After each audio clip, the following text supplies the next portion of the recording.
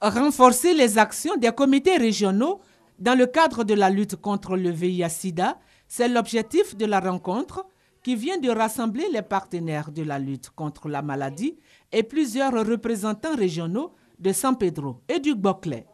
Au centre de la rencontre, la coordination et la mobilisation des ressources nécessaires pour mener une lutte efficace contre la pandémie.